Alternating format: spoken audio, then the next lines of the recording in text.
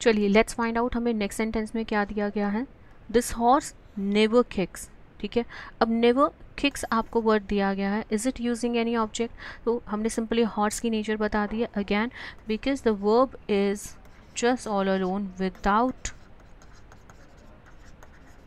any object ठीक है? तो विल बी राइटिंग intransitive.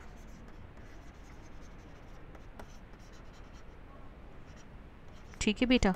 तो इसको समझना एंड ध्यान से करना दैट इज़ रियली इम्पोर्टेंट